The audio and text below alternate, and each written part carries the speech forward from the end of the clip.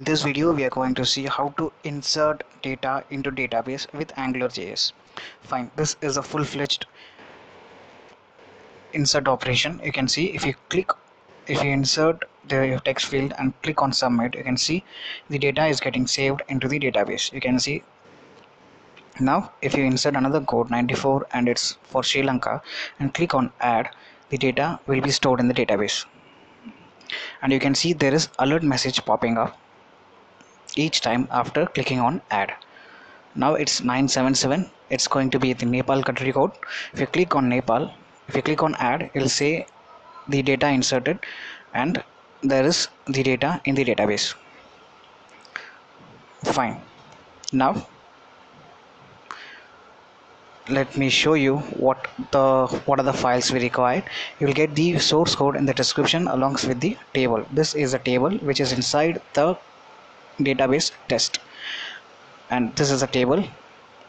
And inside the table we have two columns. The first one is id and the second one is name. And i'm going to start it from scratch. That's why i deleted. Now if you see this insert operation is performed. Insert.php is called when you click on add. We will see how to create it. Fine. Now we don't need the css part. We're just going to focus on the angular.js part let me comment it. And uh, you can see this is the div. You can if you refresh it this is a div which has heading label input field and button. It is the heading. And we have label input button and again in label input button and then the submit button. Fine. Now this is a div which holds our text text field. Fine. Now we are going to make this div as an angular app. How are we going to do? Ng hyphen app. And you can give any name at present. I'm going to give my angular app. Once you have to choose your div and you have to make this div as an angular app. We have done it. And then we are we are need to add another we need to add another attribute with ng controller. This with the help of ng controller we can access inside text box. You can see we have two text field over there. To access these two text boxes we will use controller. That's the reason why i have defined controller. And to how controller is going to access controller is going to access with the help of the attribute ng model. You can give any name. I'm going to give code. And it's ng country. Fine. Now if you click on submit there is going to be a function that is going to called I'm going to define it on AngularJS by using ng click. And this ng click can also be accessed using controller. Fine. Now nothing is going to get changed because we have not added uh, script tag. Let me remove it and start from scratch. First of all we need to define an angular app.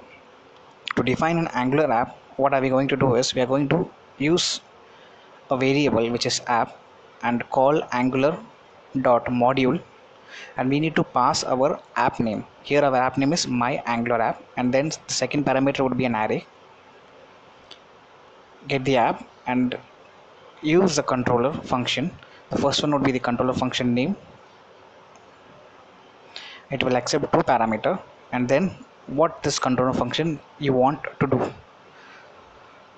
So to access ng module we will receive a variable that is scope. With the help of scope we can access the ng model and http is for ajax operation fine.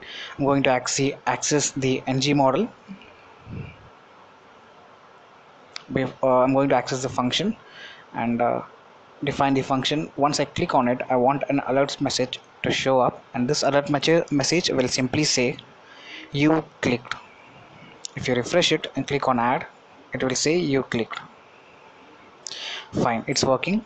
That means we are able to access the submit button using controller fine. Now call the http and use the post operation. We are going to submit two values to the file called insert.php so the first parameter would be the file name and the second parameter would be the data which you want to send. We are going to send the object using key and value. The key would be in semi uh, the key would be in quotes and the value would be simply the hard value. Fine we are going to send two values. That's that we need two pair of key and value. I'm going to copy and paste it. Fine. So the key is the key can be anything. Let me give me leave the id and names as a name.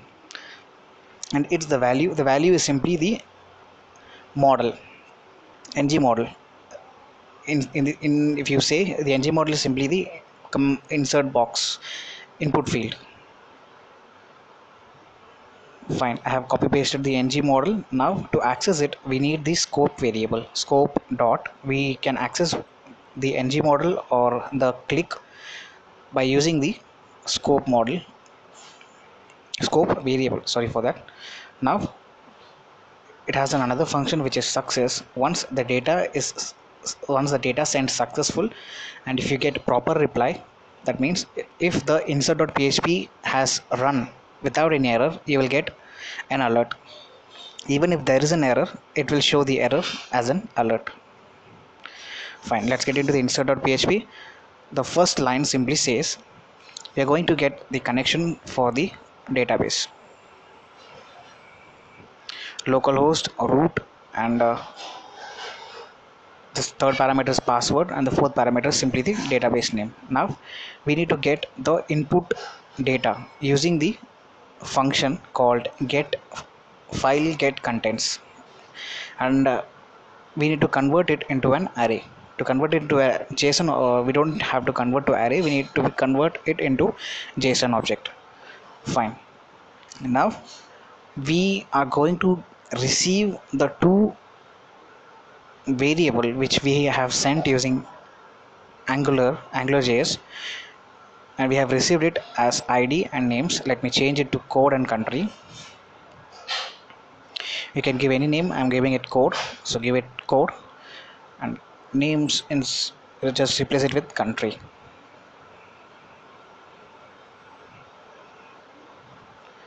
Fine.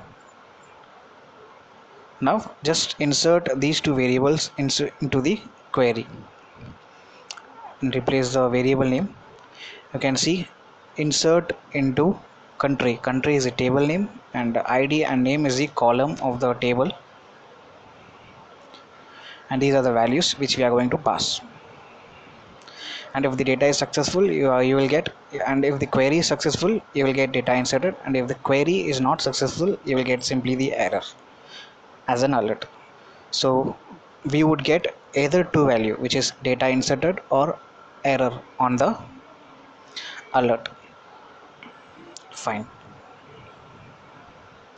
Now if we try to insert but now you can see the database is empty. There is no value. Let's try to insert some value. 91 is for India. If we click on add you'll see data inserted. That means data data is inserted properly. And you can see once you click on add the data is not getting the old data is not getting disappeared. So after alert what I need is I want the text field to have value null.